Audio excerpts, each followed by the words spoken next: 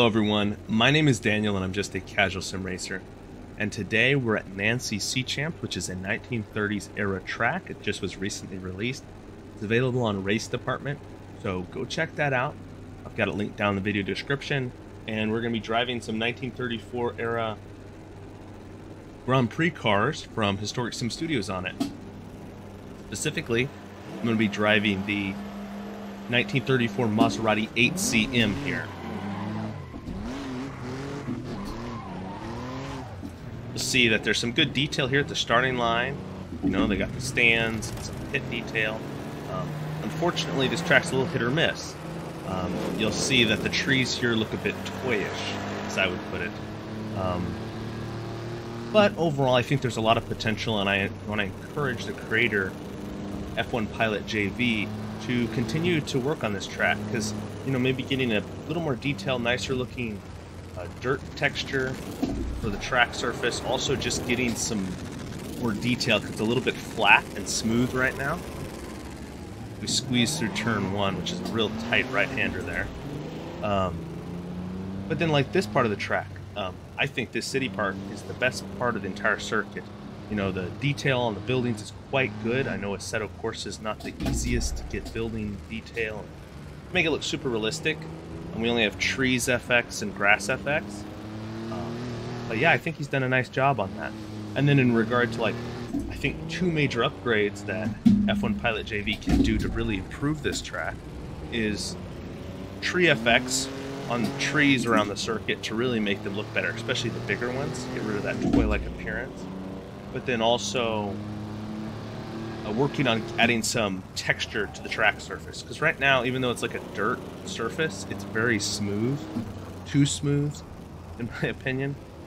And so definitely could use some work in that regard. So up into fifth here. But like, there's nice details. There's so much potential here, and like, I mean, what's the big thing? I'm I'm checking this out to see, you know, if you want to use up the hard drive space for this track. And I'd say if you're looking for like a little ski or a fat Alfie type of track, then you're probably not going to be interested in this. Or if you mostly drive modern cars and you're just checking this out, you know, probably not the track for you. But if you're looking for a you know, you're really into period correct cars, for example, you're subscribed to the Historic Sim Studios Patreon. You can't, you know, the more historic stuff you can get, then of course, yeah, download this. It's it's good enough that you can, I think, add it into a rotation. Let's say driving the 1934 Grand Prix cars like I'm doing here, and you can add it to your rotation and just mix up the variety of tracks. You know, it's kind of a mid-level Grand Prix race, which I think it works perfectly for. I'm gonna try to seal off fourth place here. onto the main straightaway there, coming out of the final corner. Just two laps.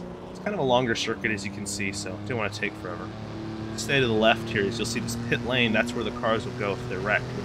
It can make it quite a tight fit, especially at high speed. And this being a long front straightaway, you can often max out your car like we're going to do here, 151 miles per hour. Get on the brakes kind of early, start working our way down. Remember, this is a really dangerous and tight first first corner. It's right-hander between these two buildings here. Up into fourth. And so we're chasing third place. Um, back in the day, remember, only the top three would get bonus points for finishing. You know, you get extra point for first, one less for second, one less for third, and then everyone else behind that would get points based on how much of the race they finished, not the exact finishing.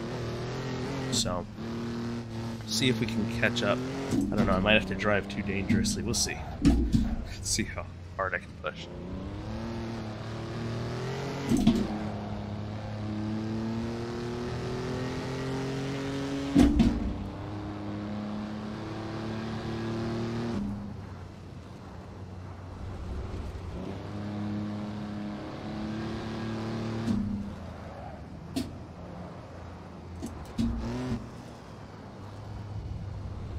There's the leaders.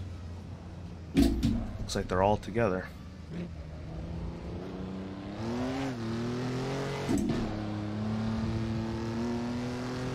Yeah, overall, I mean, the track, as you can see, there's quite some nice things. You're going to see one of them, probably my second favorite thing about the track other than the town, is this gantry and gondola.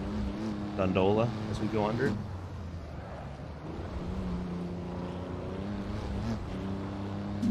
Alright, down into third. Down in a second.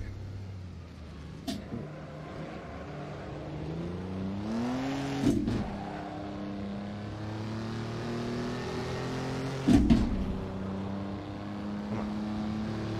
I don't know if we're gonna do it. I have to start braking. We braked a lot. We did get up into third. Up into third. Really sent it in there. Uh, nothing, got nothing for second, but yeah, we're gonna get a podium position here. So yeah, like I said, if you're a fan of vintage racing and you want to add another car, another track to your rotation, I think this is one worth downloading. Otherwise, perhaps you know, wait till maybe there's some improvements from the creator. So hope that gives you some information. Make a decision. Check out the links down in the video description. But most of all, I hope you all have a fantastic rest of your week.